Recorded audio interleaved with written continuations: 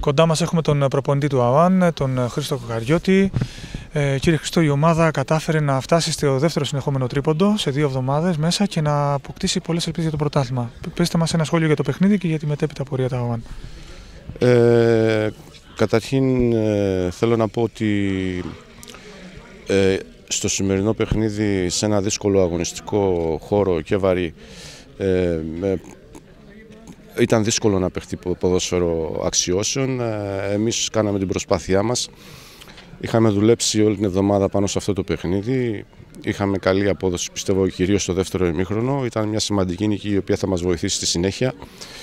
Ε, θέλω να πω ακόμα ότι οι ποδοσφαιριστές μου έχουν κάνει μια πολύ μεγάλη προσπάθεια τον τελευταίο καιρό και τα αποτελέσματα μας δικαιώνουν. Και να τους ευχαριστήσω γι' αυτό.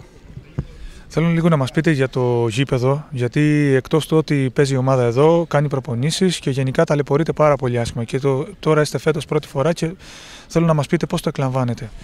Ναι, σίγουρα το γηπαιδικό είναι το μεγάλο μας πρόβλημα.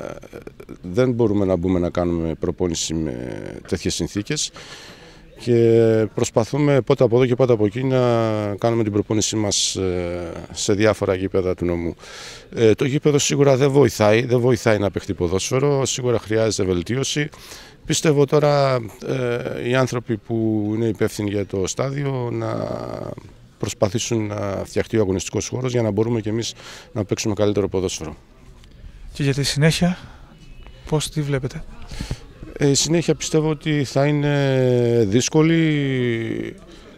Ε, κοιτάζουμε το κάθε παιχνίδι ξεχωριστά. Τώρα έχουμε ένα παιχνίδι με τη Χερσόνησο, θα ετοιμαστούμε για να προσπαθήσουμε να πάρουμε ό,τι καλύτερο μπορούμε από αυτό το μάτς. Ε, θα προσπαθούμε για το καλύτερο στη συνέχεια. Έχω εμπιστοσύνη στους ποδοσφαιριστές μου, ήδη, ε, ήδη έχουμε κάνει μια προσπάθεια και έχουμε βελτιωθεί πάρα πολύ. Ε, υπάρχει ένας ικανοποιητικός αριθμός παιχτών, 22-23 ποδοσφαιριστές που όλοι ανά πάσα στιγμή είναι έτοιμοι να βοηθήσουν και να μπουν στην ομάδα και αυτό είναι το πιο ευχάριστο για μένα, ότι έχουμε όλους τους παίχτες κοντά μας. Ευχαριστούμε πολύ, Καλή συνέχεια.